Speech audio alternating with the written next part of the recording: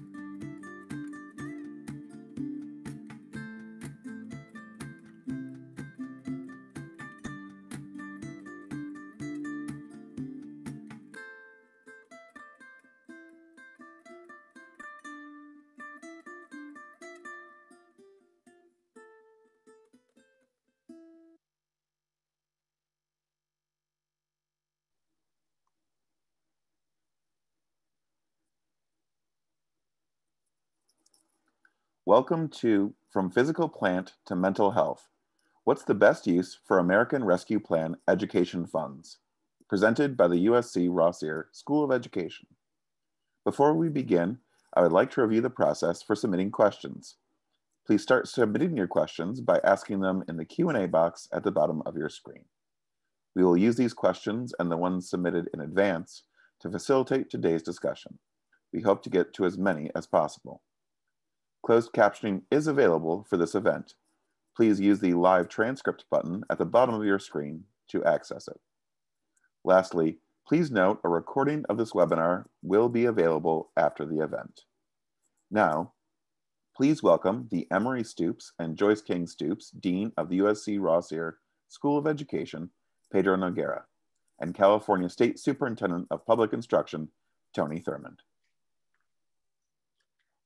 Good afternoon and uh, welcome.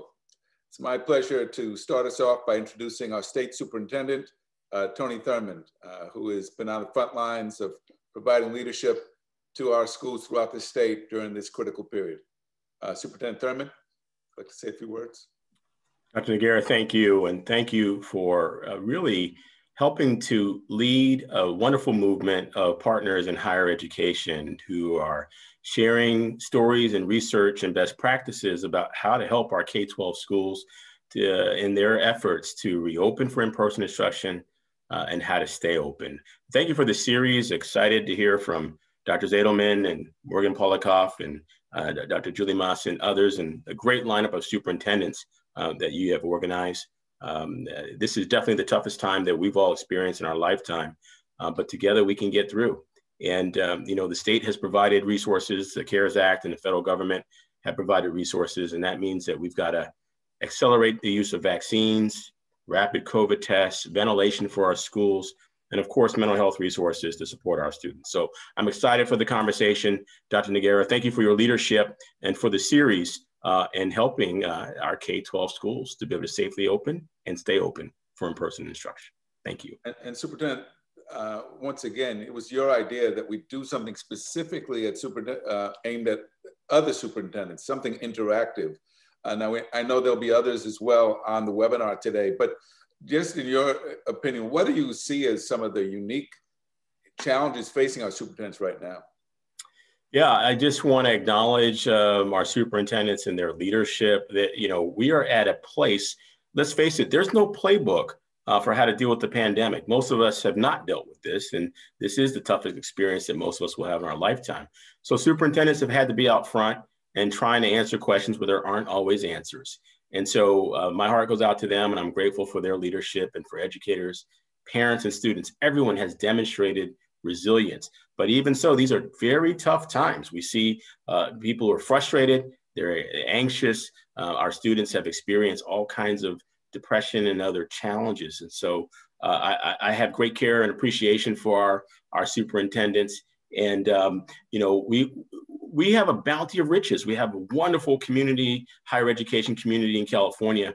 And that allows us to tap into research that helps us to figure out answers uh, to many of the questions. And I want to, again, uh, thank you, Dr. Noguera, for agreeing to be a, a liaison, if you will, uh, between our higher education community and what we do in the K-12 community. Thank you for saying yes to that uh, for today's webinar.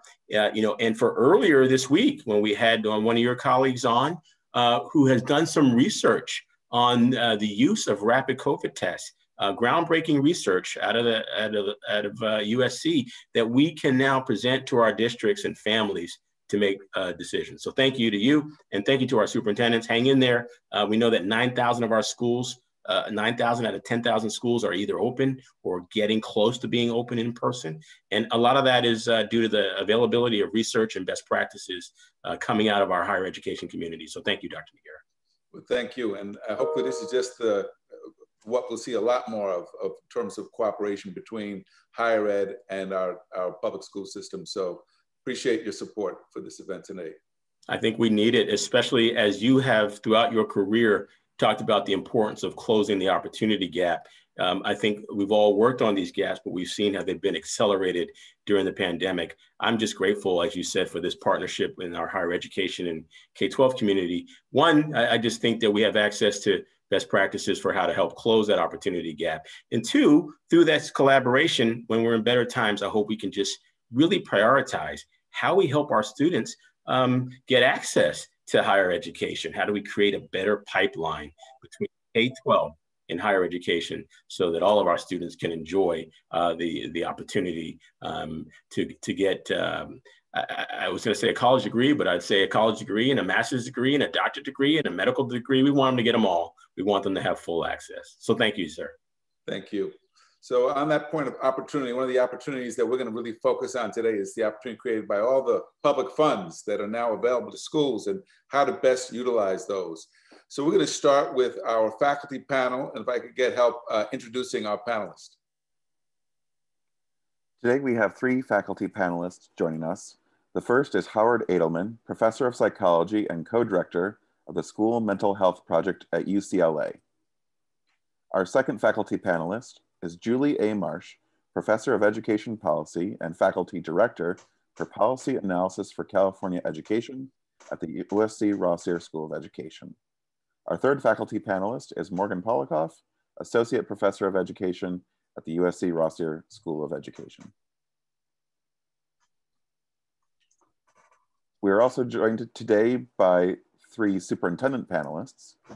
The first is Darin Brawley, Superintendent of Compton Unified School District. Our second superintendent panelist is Roxane Fuentes, Superintendent for Berryessa Union School District. And our third superintendent panelist is Sandra Lyon, Superintendent for Palm Springs Unified School District. Howard, I think we'll start with you. Okay, I'll get going here. When they told me I'd have about three minutes to talk with you today, I thought, as I usually do, it takes me that long to clear my throat. I'm not sure I'll get through it. I want to use my three minutes to focus on what schools need to do differently to address the increased number of students experiencing emotional, behavior, and learning problems, and the overwhelming number who must be re-engaged with their schooling. Given that everyone has indicated that mental health concerns are a priority, significant COVID-19 relief funds will be used to help students, families, and staff with respect to their concerns. But we need to go further.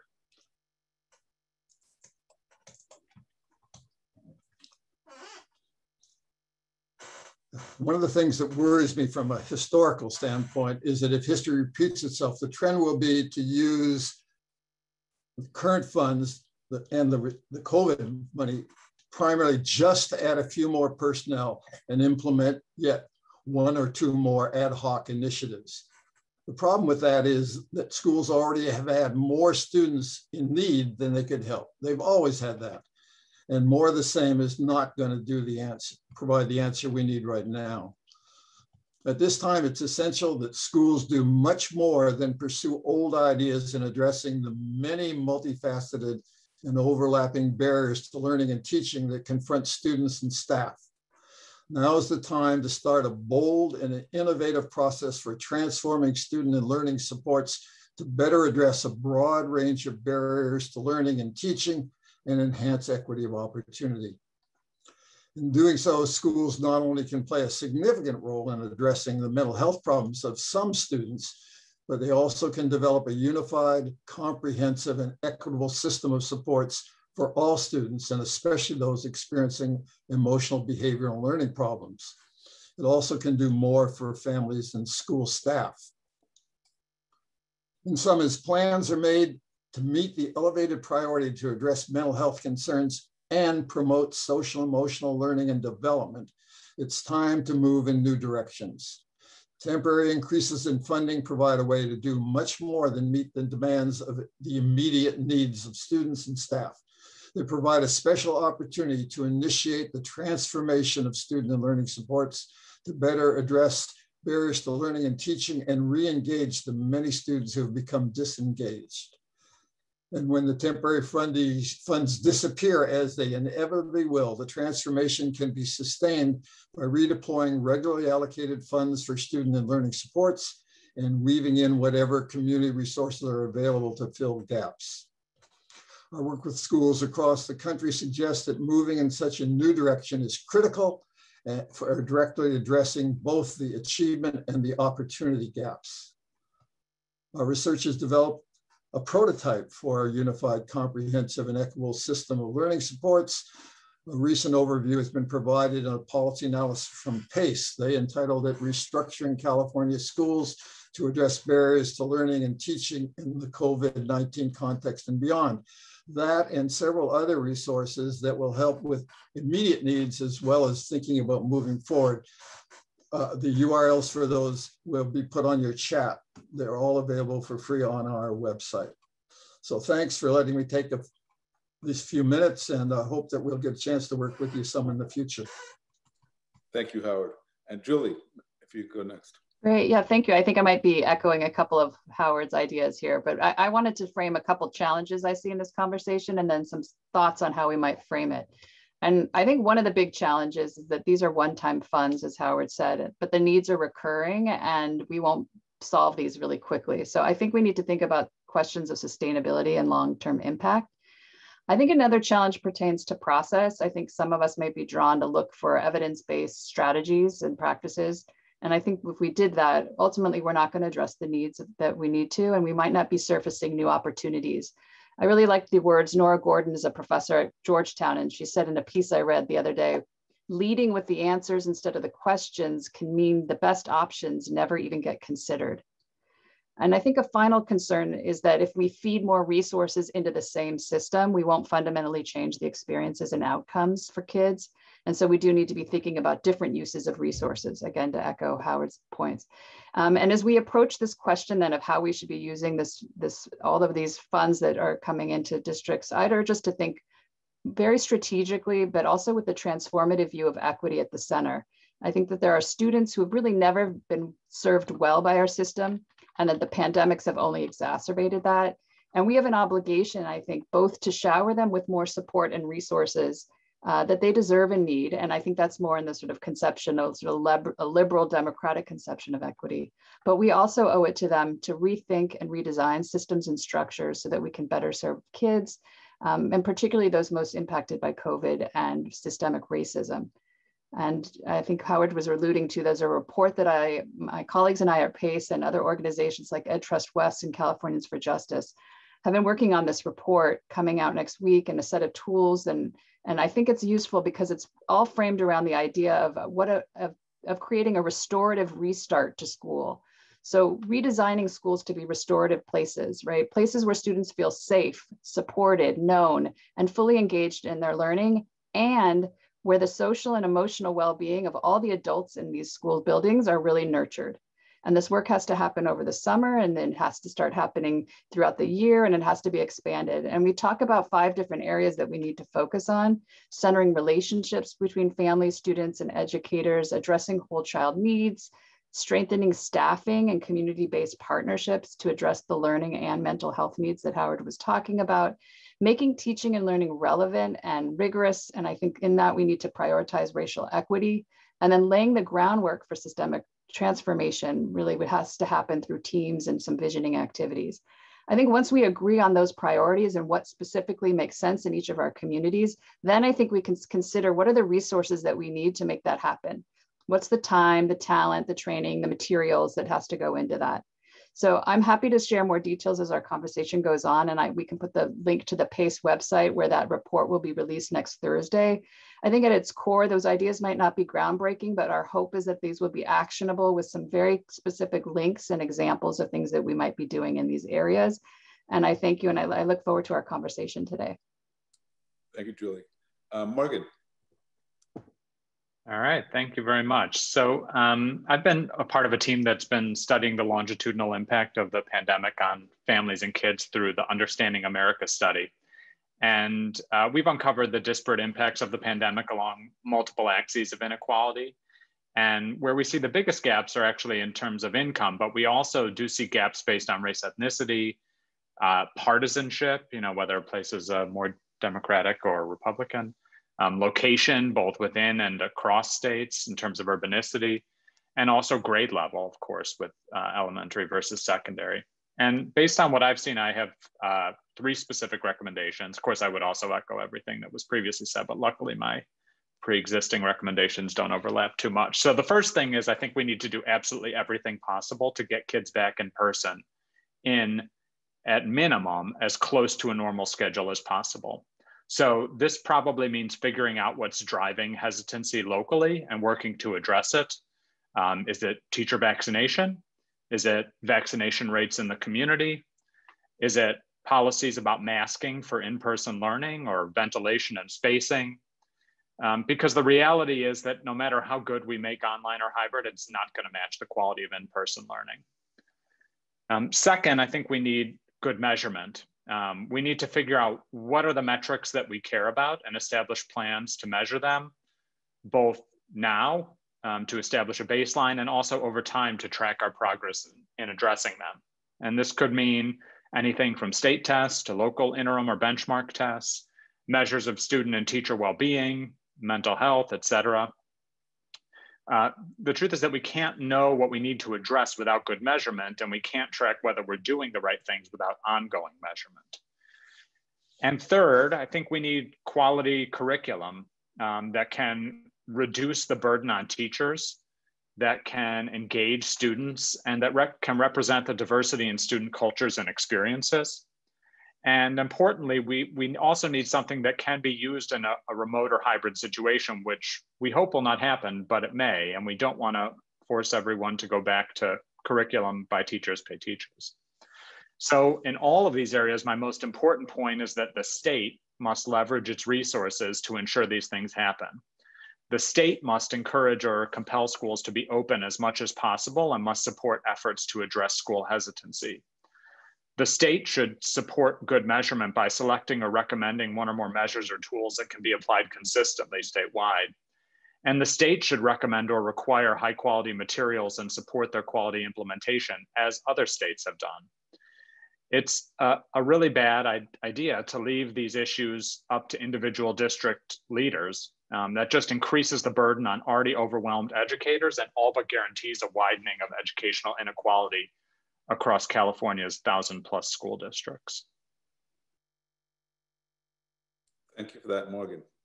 And today we have uh, three superintendents who are already on the front lines uh, trying to make these tough decisions. Um, and why don't we start with Roxane Fuentes from Berryessa. Good afternoon, everyone, and thank you for allowing me to be part of this conversation. Uh, just to share a little bit about Berryessa Union, we're located in the city of San Jose, the heart of Silicon Valley. Uh, we service about 6,500 students, TK through eighth grade. Uh, we have a highly diverse community um, for 6,500, uh, over 50 languages spoken. About a third of our students are English learners, and a third of our students qualify for free and reduced lunch. Uh, navigating the pandemic has been quite challenging. Uh, Berryessa does straddle between North and East San Jose. East San Jose has been one of the hardest hit communities with COVID 19 in uh, Santa Clara County. So there has been high uh, hesitancy with our community, both families and staff, to return to in person. So we've had to uh, really think strategically on how we balanced our, our funds that we've been receiving receiving to support our efforts, both in dealing with uh, physical safety and emotional safety. Uh, you know, we were um, fortunate that prior to the pandemic, our board had established mental health and well-being as one of our strategic goals. So we had already invested in having uh, school site-based social workers across our, our district, which was a tremendous support when uh, the pandemic uh, challenges first began. But as you know, uh, in Silicon Valley, with the cost of living, um, our most vulnerable families are facing even more challenges now. Uh, we have many children living in multifamily home situations, and it's been very, very difficult. Uh, so we've had to um, invest our early dollars in meeting immediate needs, uh, making sure that meal service was continuous, connectivity was available for distance learning, and broadening our mental health supports and outreach. And so, in doing so, we know now moving forward uh, that even in our system with the best of intentions there were gaps and there continue to be. And so we're trying to rethink critically what can we do to re-engage our students? We were fortunate that this week is our first week of welcoming our children back and it is the right thing. And seeing their smiling eyes everyone knows it is what's best for them. But again we still have 60% of our families that have chosen to remain in distance learning until June. And so we're wanting to continue to build uh, confidence amongst our community that returning to school is a safe thing to do, that it is the right thing to do, and thinking about how we can maximize these one-time dollars for a long-term impact. For Berryessa, uh, we're going to be receiving about $2,000 per student based on our demographics. So there's a wide range of funding allocations that are being given district to district. And so right now, as we think through how we want to invest those dollars, we are looking at equity work we had already started and looking at trauma informed practices and professional learning for our staff to help that re-engagement um, of everyone within our system as we begin to reopen our schools and think differently on how we can personalize what we do. Thank you that. Uh, let me turn to uh, Darin Brawley from Compton. Um, what, what do you see there in the way of challenges and opportunities? Well, you know, we, we have addressed a lot of issues associated with the pandemic. And um, we began by addressing the academic and social emotional learning and social fluency gaps associated with our students. We relied upon our focus on PBIS as a building blocks for student academic and social emotional success. And using PBIS as the uh, foundation, we implemented social fluency, many lessons, highlighting the Boys Town Press Top 18 social fluency skills, incorporating the CASEL framework, and using Second Step as an SEL curriculum. Uh, how have we addressed social emotional learning through this funding? Through a belief that SEL can be a powerful lever for creating caring, inclusive, and healthy communities that support all individuals in reaching their fullest potential. For this reason, our CWA department uh, continued to provide much needed interventions for parents and students. This included mental health, social emotional learning supports through our partners and their telehealth virtual platforms, our mental health practitioners, and our wellness centers. Uh, school sites have received professional development focused specifically on social emotional intervention and supports. Second step was piloted, as I said, later adopted. In surveying our parents, our, our staff, for 70% of them and 74% of our parents surveyed last year indicated that the school has provided social emotional support for student wellness, such as counseling, crisis intervention, social fluency lessons, growth mindset training, character education, and PBIS. How are we planning to spend resources? A major component will involve the replacement of our HVAC systems to comply and address airflow and recirculation within our classrooms. We anticipate that we will spend approximately 58 million of the 195 million dollars that we will receive on that purpose. We're addressing student learning loss through extended learning opportunities. We're providing students with a robust Saturday school program, as well as a robust summer school. Summer school will be focused on student learning loss, credit recovery, and acceleration of students to enable them to explore more opportunities related to college and career. How do we use uh, the funding to enhance virtual learning? We provided after hour supports for students and parents. Uh, we have a ro robust professional development uh, plan in place that has assisted our students in delivering virtual instruction. Also, a robust distance learning platform with weekly lessons uh, planned for the entire school year. We have academic interventions before, during school, Saturday school, etc. We also use college tutors as in-class support uh, for the students that are, are struggling. And we also provide students with online tutoring through, uh, through an agency known as, as PAPER, 24 hour online live tutoring and support. And as far as partners in the area of mental health, we have quite a few.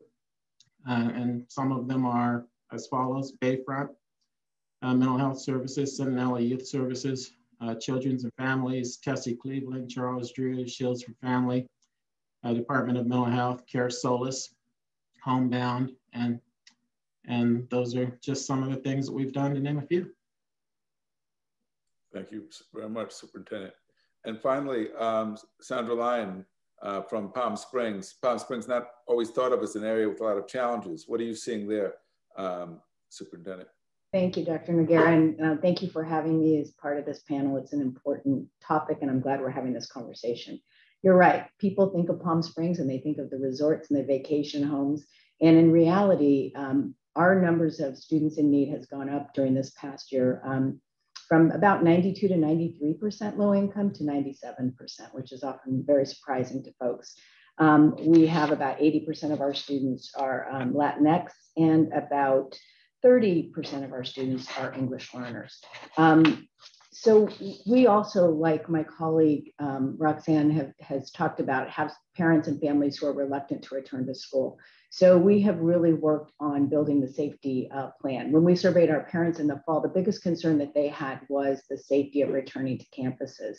We have, like uh, Superintendent Brawley mentioned, purchased uh, the air cleaners. We have upgraded our filtration systems, PPE, testing on an ongoing basis. So a lot of, um, not a lot of those resources, but a significant amount of those resources have gone toward that.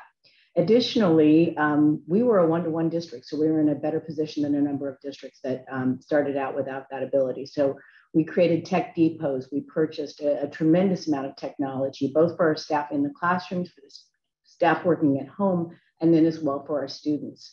We have um, distributed over 10,000 hotspots to students who didn't have good wireless access. And I know that's one of the things that Superintendent Thurmond has talked about throughout this pandemic is um, how it's laid bare the actual uh, disparity in ability to access Wi-Fi and even to access a virtual online program.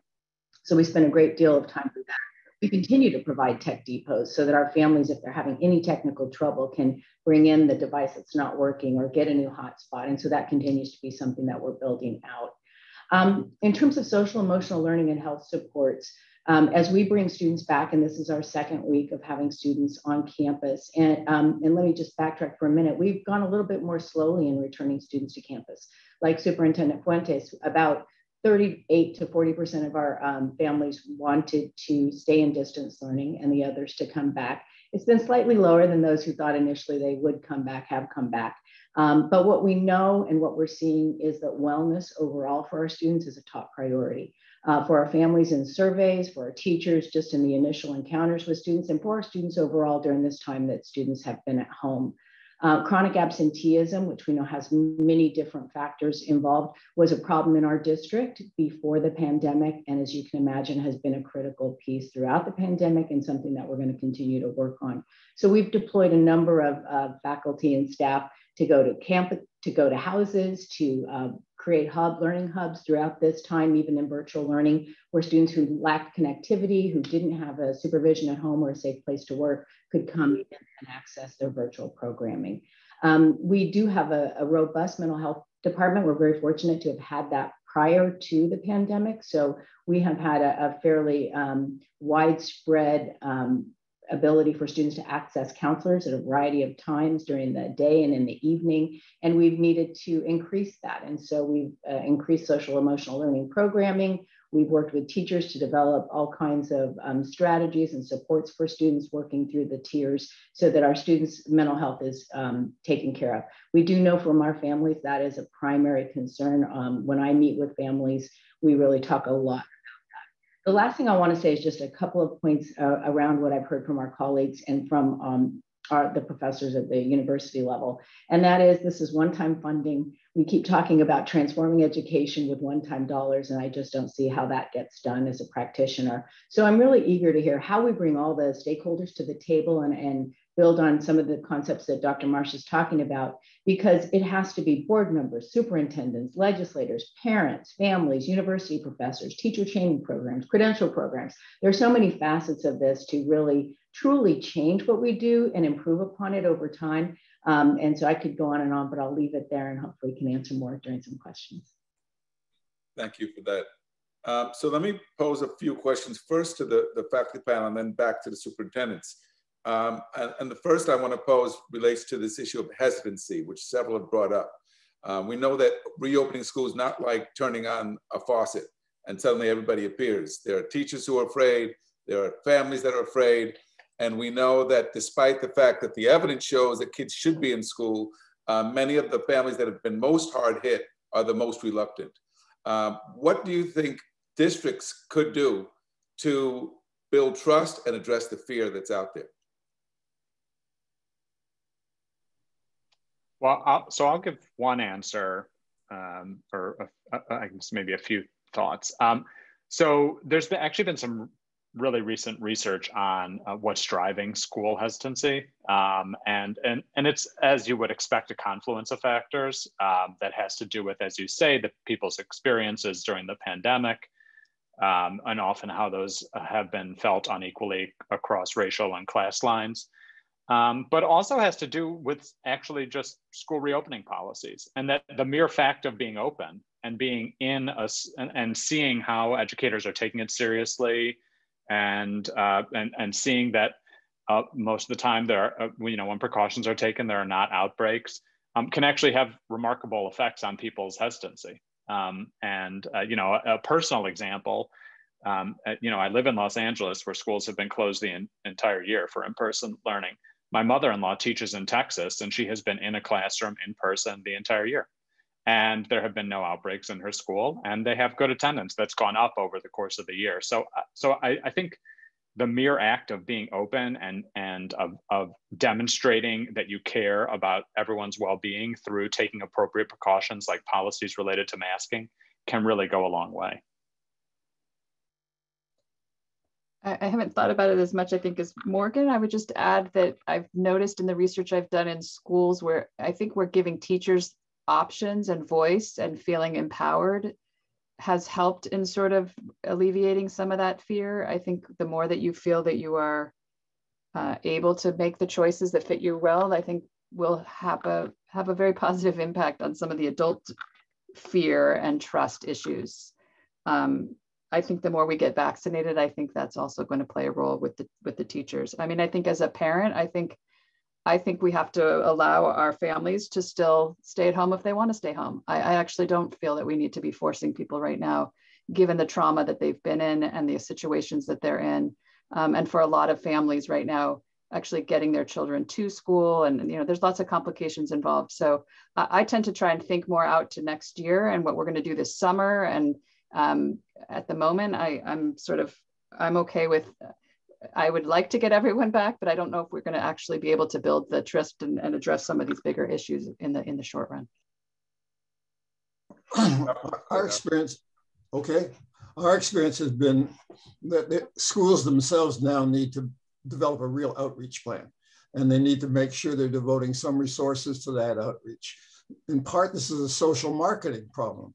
It really has to be laid out to families what's good, what's new, what's promising, how they're going to handle certain things.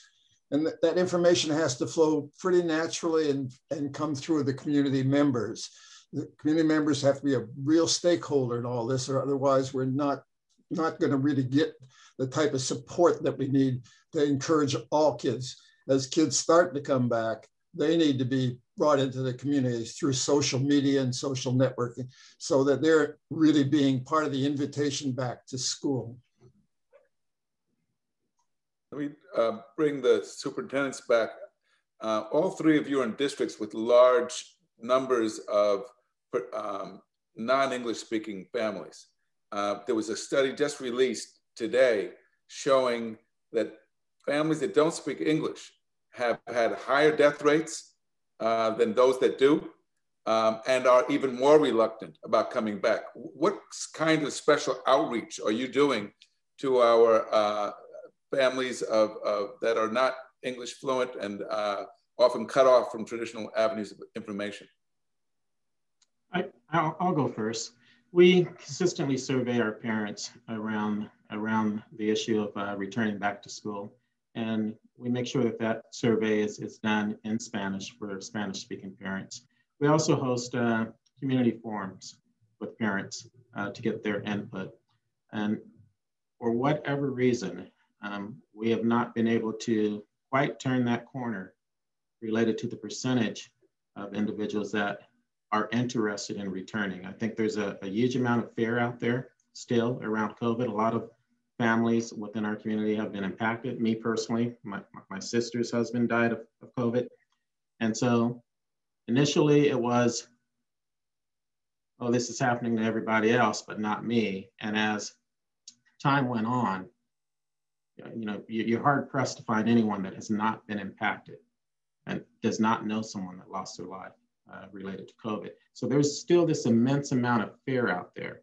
And I think it's going to take uh, a lot of different approaches on our part. Um, you know, having a very articulated uh, vaccination process in place. You know, now that our 16 and, and, and, over students can be vaccinated and very soon our 12 and over likely to receive the uh, okay to be vaccinated. So we're gonna have to have a very robust uh, campaign around those issues.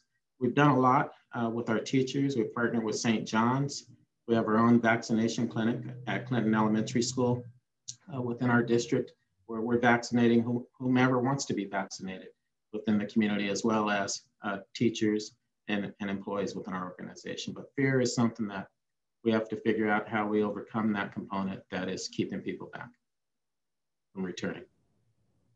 Yeah, I'd also like to add, um, you know, certainly how we communicate to our community has definitely evolved through this pandemic. Our outreach has been quite extensive uh, town halls, focus groups, phone calls, home visits. Uh, myself as superintendent, I do uh, every other week video messaging. And as we prepared for return, we did a full video for school return so that everyone could see the safety mitigation measures that were put in place into the classroom um, to just, again, to continue to build comfort, even for our own staff who many had not returned to the classroom since last March. And although they may have heard that the district was making investments in all of these different safety measures, they hadn't seen it. You know, they, they weren't familiar familiar with what the cleaning practices were that we were implementing. So video messaging has been very powerful tool. Um, in Berryessa, uh, you know, our three uh, dominant languages besides English is Mandarin, Vietnamese, and Spanish. And uh, we have our in house interpreters who uh, these three women are amazing and they've been essential in um, doing personal outreach to our families uh, when uh, they don't respond to surveys, uh, you know, when they're struggling uh, with the handbooks and the guides that we're providing to parents. They make those personal phone calls to get the, to make that connection and to be more of a, have a more personalized approach. It's not easy, it's time intensive, um, but that's been one way that we've been able to try to provide some assurances of, of what we're currently doing to make schools safe for everyone. Uh, yeah, we've been doing the same things as both of the other superintendents. And um, I think there's sort of two issues. One is uh, the concerns around health, the trust of, of uh, is my child going to be safe? Are we going to be safe? And I think, you know, the idea of how this um, pandemic has hit different communities is really important for people who are pushing for students to get back to school to understand. In our community, we have many multi-generational households who live together. Our family members are often those who are working in grocery stores, they're working in the hospitals, they're working in assisted uh, living centers. And so they are exposed, they're in those congregate settings. And so there's been a real concern overall about their exposure to the virus. Um, we've been um, really working hard to show those families what we're going to be able to do. But I think as vaccinations um, become more prevalent, people feel more confident about that, that's going to help. But um, to Superintendent Brawley's point, we've lost staff members. We have students who've lost parents, grandparents, uh, aunts and uncles. Uh, the, you know, the stress and the um, traumatic impact on our families is not to be understated. I also do think if we had been able to come back initially five days a week with a regular schedule, we would have had a better opportunity to bring students back. Um, the hybrid schedule is there is no good hybrid schedule. That is a true statement. It is a challenge um, to balance uh, keeping a teacher, if that's a teacher you've had all year and that's your desire, and be able to have that teacher in front of students delivering instruction in person as well as creating that instructional piece over um, the internet in that virtual setting. So uh, how school districts decided to come about their return to school, uh, school based on their county levels and what was happening with their articulation with County Department of Public Health really made a difference, I think, in what we were able to offer. I'm really optimistic, though, and I just want to say this that going forward in the fall, we'll have very different numbers, providing that we're able to stay in a good space with the spread of the virus and the vaccination rates continue to go up.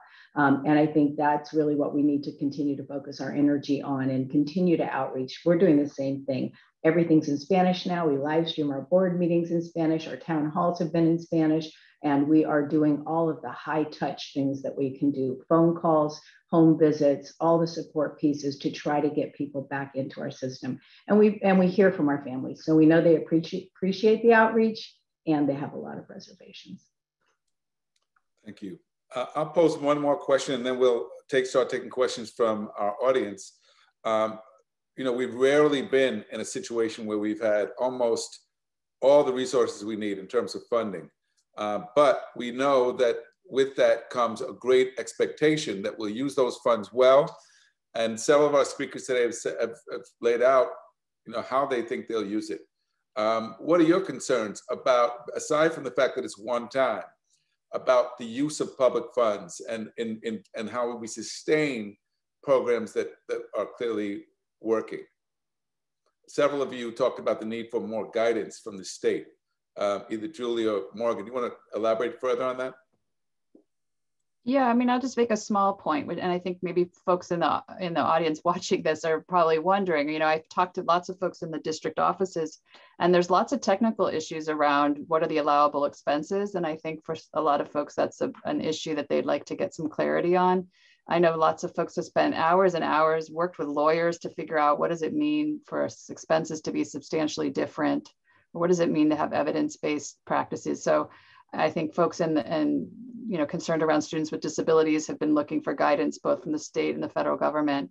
And you know, so I have some concerns about the amount of time people might be spending and trying to account for the dollars and what they can use it for and what they can't.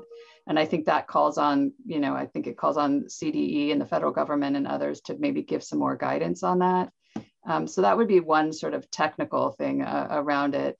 I think some of the issues around this kind of one-time funds, I think we really need to think about not just hiring sort of short-term contracts and what happens then when those people are, you know, having to be laid off. And I think a lot of the superintendents already are doing lots of important things with their investments and thinking about ways to invest in ways that can make these investments sustain themselves. So whether that's thinking about training and support, um, for me to me that's sort of crucial around thinking about how do we support the adults and the teachers and the principals. Um, and in that training is, is a long-term investment built into that because hopefully we will retain those people as long as we support them in their positions. And I guess I just want to make one more point. I don't know, I'm sort of going off track a bit, but we talk a lot about the social emotional needs of kids. And I just really want to make sure we're focusing on the adults. I'd like to talk about the trauma and the compassion fatigue of our adults in our schools. So to me, we're going to have to really worry long-term about retaining these folks. We already know that people are leaving the profession. We already know that we're hearing principals are deciding they might want to leave sooner. We already know that superintendents, as we have found out in our news just this past day uh, in LA Unified, uh, we need to think about investing in our adults in the buildings in order for them to be able to help our students. And so I think we need to get creative in thinking about wellness checks for our adults um, ways that we can support the social, emotional, and, and, mental health of all of the adults in our building, supporting them, giving them stipends, giving them time, all of the things that we need to do. They're the linchpins for us. I think they have the hardest jobs right now that any of us could imagine right now. So I think that's where I would put my money.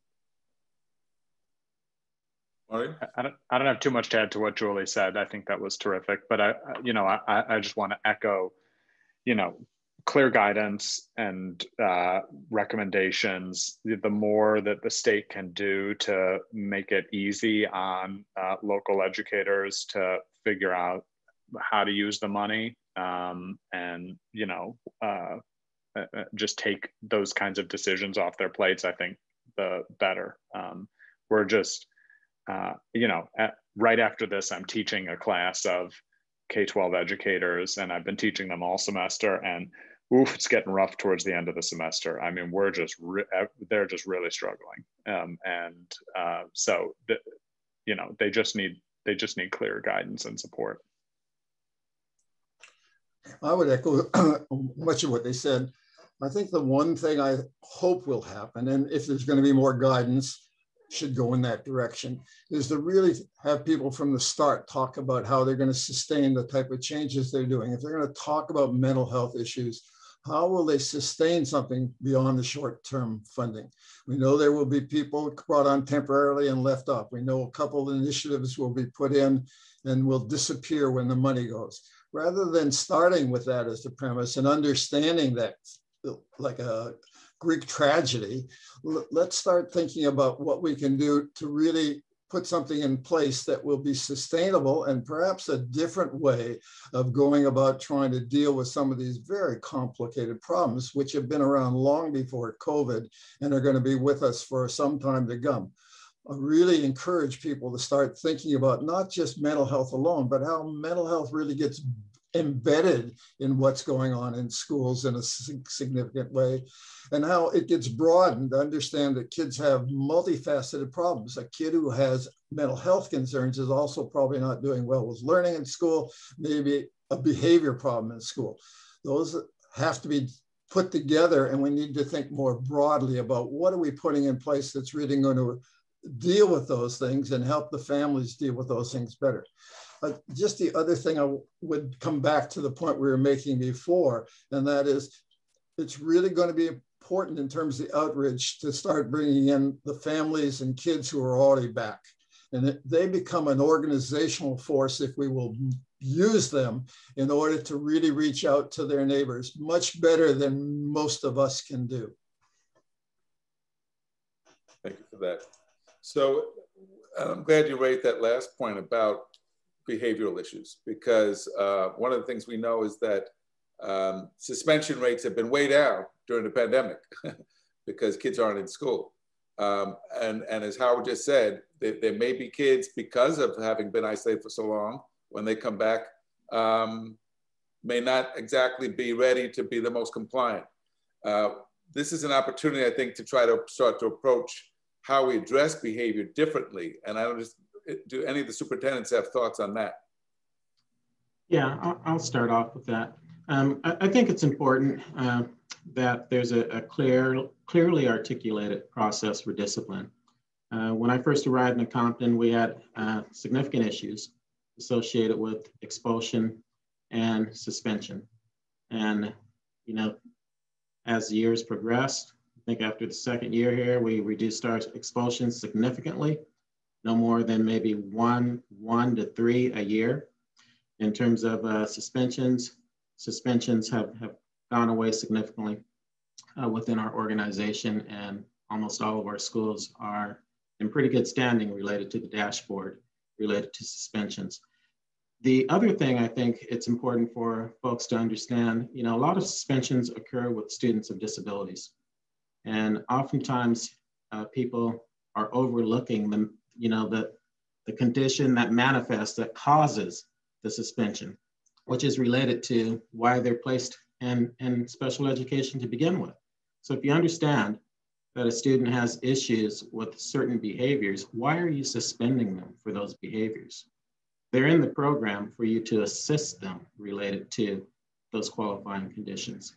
So I think there has to be better communication, uh, articulation between administration and teachers, and everyone has to have a, a, a better understanding in terms of how they proceed uh, with disciplinary measures. I mean, you, you're trying to eliminate the behavior, not punish the behavior.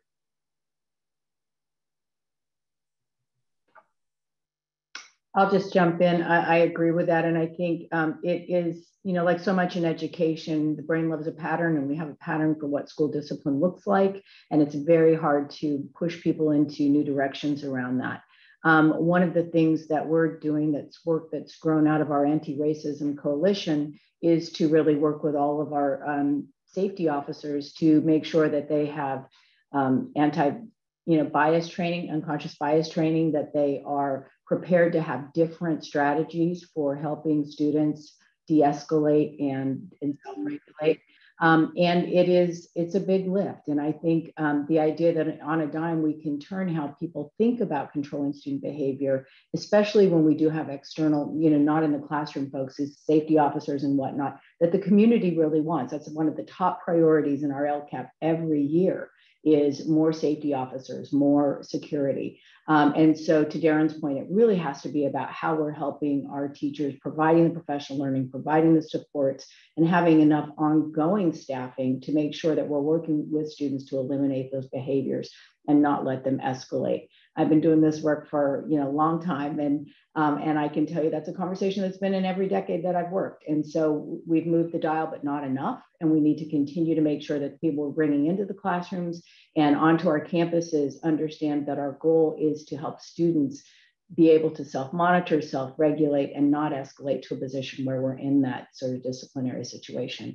I will also add that, um, you know, with us in our district, um, one of the things we're talking about is that students come back on is the ability of students to interact with each other and to have appropriate behaviors in the classrooms. And so we're really doing a lot of work to prep students and to provide opportunities for them to connect with each other. Some of our students have been isolated for a very long time. And it's one of the questions that we have is when we get full numbers back on campuses, um, what's that going to be like for some of our students who haven't had to comport to a classroom uh, in the traditional way that we would expect?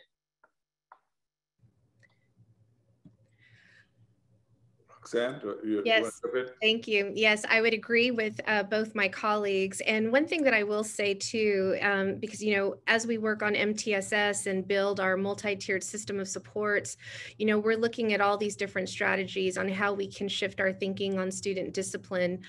But I will say that in the pandemic, uh, through Zoom, many of our teachers finally saw some of their students' realities, you know, as they saw them in cam- on the camera uh, in multifamily settings, uh, sometimes, you know, uh, not in the best situation uh, to be engaged in learning. And it provided, you know, some sensitivity maybe uh, that wasn't there, some knowledge that wasn't there on why it is that we're spending time on shifting our teaching. We've been doing work with the National Equity Project uh, focused on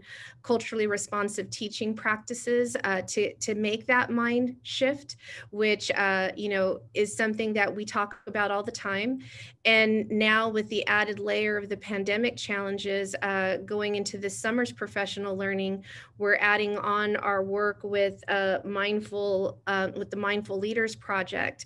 Uh, I know Dr. Marsh mentioned about our adults and, you know, their own self-care and understanding why we perceive um, student behavior the way we do, what's triggering us neurologically to react the way that we do. And that's the work that we'll be pursuing this summer over the course of the next three year cycle on um, how our brain functions and how we react to student behavior and why we why certain behaviors trigger reactions on the adults in the system so that we can better improve our responses and meet the needs of our students more effectively so that's just one avenue that we're beginning to explore so one of the questions we got has to do with how we share what we're learning uh, during this. Um, some of you are going to discover some strategies that work very well in your community. How do we make sure it's not limited to your community? Um, how do we make sure that good news travels and is available to districts, whether they're urban, rural, suburban, throughout the state? Any thoughts on that? I think the uh, best way for that is to is to have your professional learning communities, uh, you know, your your groups uh, related to the professional groups that you participate in. I can, uh, you know, I can honestly say that we have a group in Los Angeles County uh, with the within the region that I'm in, where about eight of us come together constantly to address issues associated with the pandemic and how we are planning on uh, handling this issue or proceeding with this, you know, whether we're talking about uh, in-person graduations or, or something else of, of, of a different nature. We're constantly bouncing those ideas off of each other, learning from each other in terms of the approach that uh, one might be taking, which provides feedback to someone else to, you know, address theirs a little differently and, and change course to adjust based upon what they've heard. So I think more of that has to happen. Uh, in Los Angeles County, um, we have a, a, weekly meeting every Thursday with, with Dr. Ferrer and Dr. Gilchek, and where we're able to post the questions uh, and concerns related to uh, guidance that has come out or anything that is impacting uh, school districts from the state level or the county level. And so that's, that's been a very, very uh, productive forum for superintendents within Los Angeles County. Anyone else? Um, how do we share good ideas? I know, Howard, you're a sharing machine over there uh, at UCLA. Um, how do we get good information out there to other superintendents? Well, we've established for some time a community of practice that really brings folks together from across the country. There's about 120,000 people now on our listserv, and we, we, continuously try to elicit from people good ideas and get them back out. So community practice has been important, but we also try to send out on a regular basis to anybody who's there who will share stuff and then get them in front of people and get some reactions to that and get some dialogue going on with that. It just seems important for all of us to figure out that we can communicate and share, but there has to be some people facilitating that process in a good way. Uh, I think what's clear is that what Darin said is the local pulling together is probably the most powerful because then they're really starting to talk what's relevant to their neighborhood and their uh, particular community. But I think there is some value in just sharing more broadly. Roxane, were you going to jump in I, before I cut you off? No problem. I was just going to echo uh, what Darin had shared. I think our professional networks are critical. You know, here in Santa Clara County, our Office of Education, as well as our Public Health Department, has hosted meetings for us every Tuesday uh, throughout this entire phase, which has been, you know, uh, critical for us to get right time information but really it's what the conversations that happen after the meetings when the superintendents stay on and we're processing everything that we've learned to be able to share what it's looking like in our districts and what's working and, you know, and what continue to be challenges. In addition to that, you know, Santa Clara County is very um, diverse in the types of districts and communities that we serve. And Berryessa being on the east side, we have our own East Side Alliance. And one thing I would encourage others to do is we have uh, seven feeder elementary districts into our high school district, East Side Union uh, School District. And uh, we meet uh, on a monthly basis. We have a constant text of communication on how we're trying to support our families.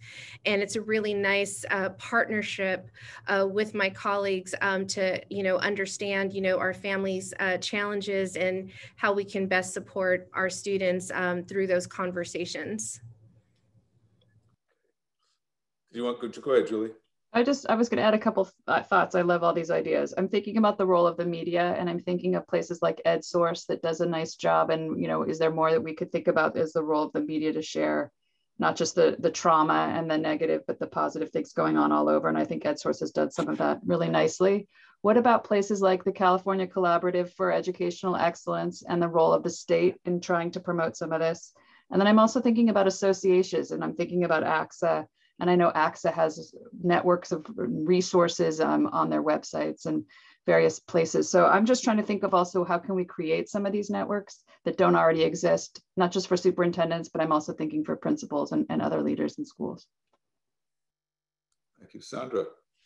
Yeah, Julie just plugged the two that I was going to plug. Um, the California Collaborative for Educational Excellence, which is part of the system of support, has amazing resources. If you haven't been to the website, I highly encourage it. Um, Dr. Noguera is there as a keynote in some of the professional learning, Michael Fullan, Doug Reeves, but there's also playbooks, really um, resources that administrators, both at the site and the district level, can pull down that really address things that are happening right now in real time in their classrooms. So I really encourage that. ACSA is another um, great source of information and for administrators to access. But I really encourage what um, both Superintendent Brawley and Fuentes said, and that is creating your own network of uh, folks who are experiencing some of the things that you're experiencing, as well as folks who are in very different contexts. Uh, for me, as a network, that really makes a difference because sometimes we get into a bubble within our own area, and it's helpful to have that cross county kind of interaction as well. So, whatever networks you can create that allow you to pick the brains of superintendents or principals in other areas is really helpful. So let me ask a slightly different question um, related to trauma too. Uh, and that is relating to the police killings that have occurred and, and the trial recently of Derek Chauvin. Um, we know that millions of people across the world, including many children, witnessed the murder of George Floyd on, on film. We also know that that's not the only incident, that there have been many, many others since then. Uh, as kids return to school, what should teachers be doing to prepare them, uh, or at least help kids address this kind of trauma related to this, these, these issues of racial injustice, particularly involving the police?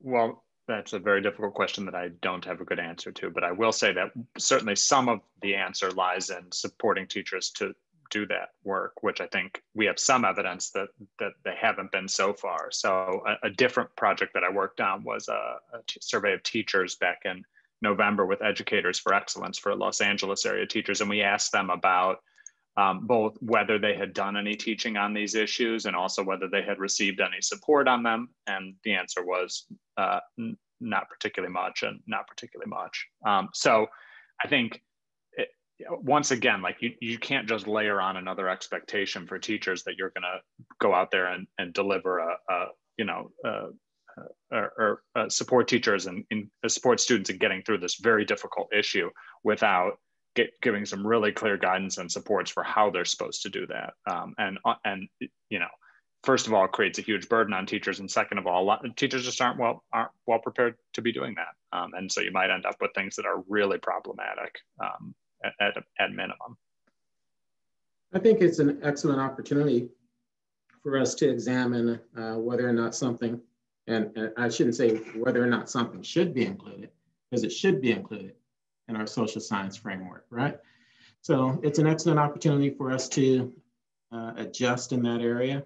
Uh, I do know that Los Angeles County Office of Education is, is, is currently in the process of sending out materials for uh, school districts within Los Angeles County to address that issue with their students. But I think first and foremost, this gives us an opportunity to literally rewrite history as it pertains to how individuals of color have been treated within the country and to address it in, in an educational setting.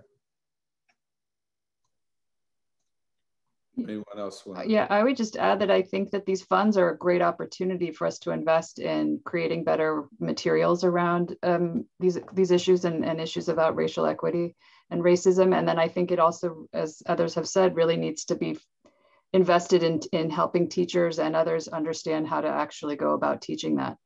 Um, it, so it's those are two separate important uh, investments that we need to be making um, on this front. And I think it's an opportunity for us with these funds that have come down to be doing that. And it sounds like from what we've heard today, some of the superintendents on this panel are already um, doing that, you know, and I, and I applaud them for the things they've already told us about their anti-racist work and the mindfulness, mindful leaders program that I heard being said by Superintendent Fuentes. Um, I think all of these are, are good, you know, in the, in the right direction, and we should be in investing and doing more in that area. Okay, I have one last question, it seems. Um, what about high school seniors who, who, because they've been doing remote learning, may be at a real disadvantage in the college application process and um, maybe less prepared? Are there any things that we could be doing differently and to improve support for those students?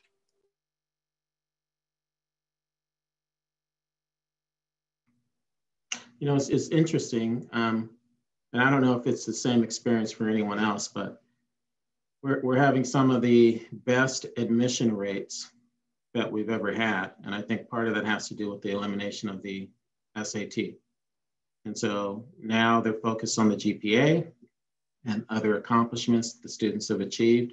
So I think it's, it's just, it's just gonna take us a lot of reimagining what the most important uh, components are in terms of college admission. Uh, we used to focus a lot on SAT, uh, SAT scores. Well, we don't have to focus on that so much anymore. Now we can focus on other components such as GPA and things like that. So we, we've had a better year thus, thus far, not a, a bad year uh, as it pertains to the pandemic. So I can't really come up with any suggestions around that based upon what what's coming in. You know, the admission rates for Dominguez into UCLA are higher than they've ever done. It's the highest year we've ever had, significantly higher. All right, I want to, um, we only have a few minutes left, so I want to allow the state superintendent to come back uh, to also offer any final thoughts about what you've heard today. Um, we have lots of other educators out there, not just in California, around the country listening in thinking about these issues. Um, Tony, what would you say as parting thoughts about this work that lies ahead? You know, first, I would just like to really commend the incredible uh, leadership uh, that we heard represented today uh, by Superintendents Fuentes and Lyons um, and Brawley. Um, you know, we live in an environment where people just point the finger and want to blame uh, at a time when we are experiencing something that there's no clear playbook to deal with. And I have to tell you, I could not keep up with my note taking and listening to the things that the superintendents were sharing. Um, about how they are trying to address issues around race, how they are trying to uh, help our families to feel safe and comfortable to return. And I want to thank all of our friends in higher ed too uh, for uh, all the wonderful things. Uh, uh, you know, Dr. Marsh and Dr. Adelman and uh, and, and Dr. Polikoff all the things that were shared today really do give us great examples on how to move forward. Uh, you know, I would, I sort of was saying, yeah, yeah, yeah, everything that the soups were saying, because we were working on some of those things. The one thing I would offer, uh, you know, I do think it's a real concern that families uh, are worried about coming back. Um, we have seen this since the middle of the pandemic. Research talking about uh, families, in particular families of color, not wanting to chance it, so to speak. And I think a lot of that is because of the disproportionate health impacts that African American families, Latino families, and others have experienced where they know someone who's died from the pandemic. And so, you know, I thought all the things that were shared today about ventilation and air filtration um, and vaccines were so right on point. I, I, would just add that there are some other resources that may help. Um, there are these rapid COVID tests, and we've worked with the governor's office and we've secured 5 million free rapid COVID tests by Binax that can allow uh, for anyone to have awareness about someone who comes to the school and is asymptomatic and positive for COVID. That's so important so that someone can quarantine and the rest of the school community can remain safe. I agree. I think it was Dr. Morgan Polikoff who said that we just have to see it to believe it. Um, and then more families will be comfortable with the idea of coming. So we just want people to know that we do have access to the rapid COVID test and the California Department of Education would like to help in making those available to any school that, that wants to use it. Um, I wanted to say, um, uh, Dr. Marshall, we hear you uh, uh, where more guidance can be used to, on how to spend these dollars and what are allowable expenses. And uh, we will work with districts to provide more information where we can. And if we don't get to you fast enough, please reach out to us. We, we typically are working through different networks like ACSA and the county superintendents, but we want to hear from those who have questions. And yes, um, more guidance on special education. I believe that was one of the items that you flagged. And, and Dr. Noguera, I appreciate you raising um, the issues around race. We've talked about all of our interventions um, to the pandemic, uh, but I think um, this is also a moment where we're experiencing the pandemic of racism. And uh, our students have watched um, as these acts of hate have increased dramatically. Uh, certainly, um, perhaps climaxing with the killing of George Floyd and the incredible surge, sadly, of uh, hate acts against our Asian American Pacific Islander communities. And it's not limited to those communities that we know our immigrant communities have been impacted. We know that so many, and we are all interconnected. Uh, uh, we, you know, our students have really led the way here, and they've told us they want more ethnic studies. They want to see people who look like them in their textbooks. And we've had a great ethnic studies series. Uh, we've worked with the State Board of Education to provide school districts with a resource guide on how schools can bring ethnic studies to their schools. The legislature is considering a requirement uh, to make ethnic studies a graduation requirement. That's uh, AB 101. Um, at the same time, we've been able to raise money from foundations to get grants to school districts. They need resources, as all of your panelists have said today, to do direct training on anti-racism training, addressing implicit bias. We created a whole new series called Education to End Hate and we've been able to help some districts. But we received interest letters from more than 400 districts. And so clearly we need more resources. We, for one, are going back to the state to say, let's provide more resources and guidance on how to do this work around anti-racism. I guess my final thought would be, Dr. Noguera, that uh, what I witnessed here today is exactly what I think you and I have talked about. Um, the benefits between our, our leaders in higher education and K-12 education working together. There's no easy answers to what we face, uh, but I am confident uh, that with the wisdom and experience that we heard today, um, uh, we can get there and we can get there together. And I'm hopeful that we can connect again with all the panelists. Uh, I've had the good fortune of working with Superintendent Brawley, uh, who serves on our statewide Superintendent's Advisory Council. Um, you know, uh, Superintendent Fuentes and Lyons, I've seen your work um, and admire it. Uh, you know, I'd like to get together with this group again and continue this series of higher ed partners and K-12 partners working together to help us keep everyone safe. Thank you for today's convening and looking forward to our ongoing work for our 6 million students. Thank you, Superintendent Thurmond, and uh, appreciate your willingness to work with us in putting this event and getting information to the hands of the public, particularly our superintendents out there. So I want to thank all of you today for joining in. Um, as, as the superintendent said, there are no easy answers to these complex issues, but we are at a moment where there are, are public resources available to solve and to address some of these problems. So our hope is the article won't be written that the money was wasted. Instead, the article will be written that we use this as an opportunity to have a tremendous impact to benefit children throughout our state and throughout the country. So thank you all for joining us today, and we wish you all the very best.